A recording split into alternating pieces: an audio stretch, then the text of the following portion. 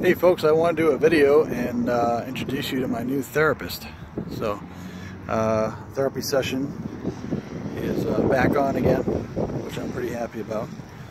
And um, so, time to meet my new therapist.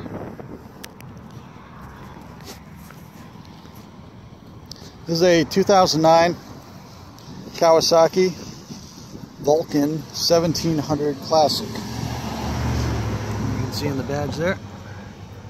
This is the LT edition, which means light touring. Um, and with the light touring model, you get an adjustable windscreen, um, some nice chrome and a nice badge there. Um, also with the light touring model, you get a backrest for your passenger and some stock bags. Bags aren't too shabby. Um, Looks like they got some PVC in there, so um, hopefully they won't lose their shape. And um, they're, they're a little on the small side, but you know, you can get by.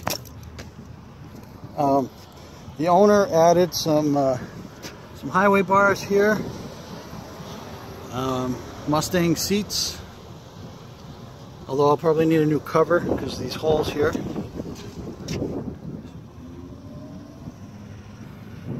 Uh, also added a backrest, or not a backrest, a uh, luggage rack, sorry. Um, definitely comes in handy.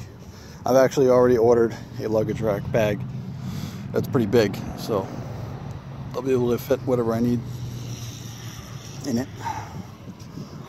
Um, the uh, previous owner also added uh, Cobra Speedster pipes with slash cut tips those tips are removable. I could probably change them, put whatever I want on them. But I like the slash cut, so I'll probably leave them. Those pipes got a real nice sound to them. So I wanted to talk about some of the things I really like. Um, obviously there's a good amount of chrome on this bike, which I do like even though it's a lot of upkeep.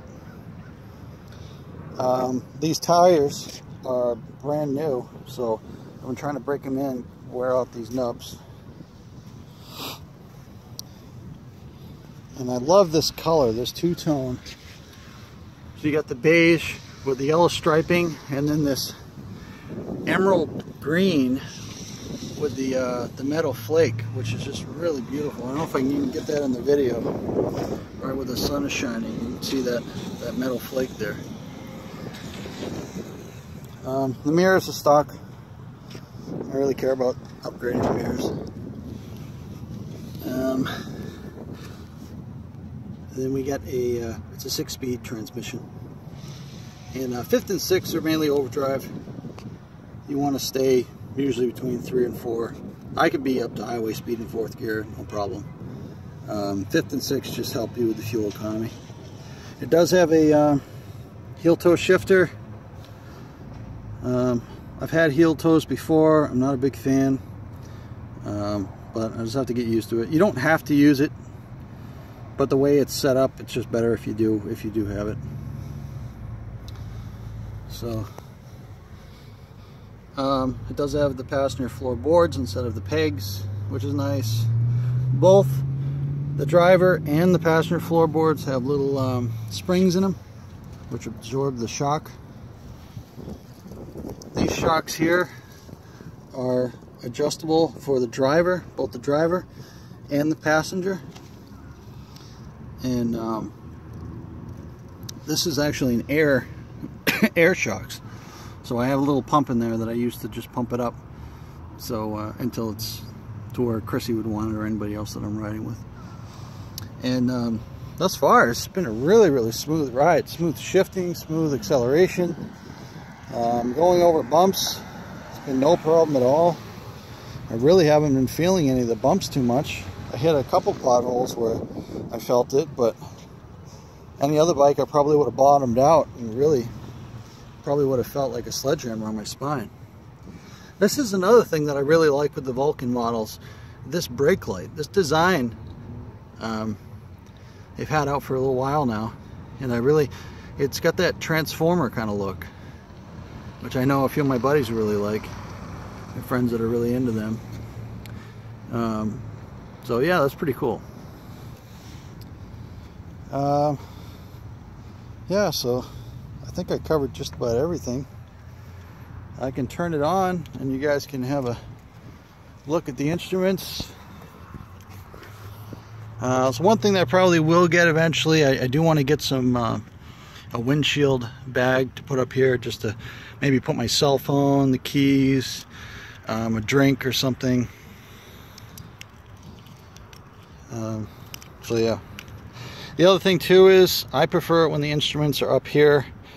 I don't like it when the speedometer's down here in the tank because then you have to look down to look at your speed and you end up taking your eyes off the road more so than you would if the instruments were up here. So that's that is one thing I'm not a big fan of. But um, the other thing too is uh, I'm going to show you something when I actually turn the bike on, which is really cool. But anyway, so you have this kind of like retro look with the speedometer, which is uh, which I kind of like. Um, you have your uh, gear finder here, and then your miles per gallon here. So I'm getting 32.2 miles per gallon on average. Uh, my fuel gauge and my odometer. It also has how many miles you see here how many more miles I can do before I get a fuel? And then the time and then back to that. And then up up here you can set a trip meter trip A and then trip B. So it's pretty cool. Uh, most bikes have these now have all that stuff. Um, but I've got it in neutral so why don't we uh, give it a listen So as you can see, check this out, ready? Whoop! Once I have the bike running, I can take the keys out and it'll stay running. So those keys won't scratch up the chrome. So that's always a good thing.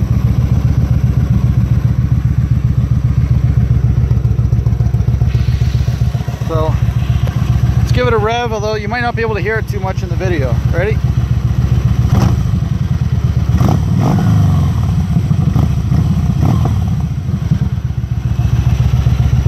back up. Might be able to hear it better when I'm uh, farther away from it. I think it's got a nice tone to it. Uh, a lot better than the stock pipes. Nothing like the sound of a V-twin engine. Really nothing like it. So, well that's the video guys. I'm going to uh, resume my therapy session. And I'm going to uh, hope that I don't get fried. Probably going to put on some sunscreen on my face to protect my big Italian nose here.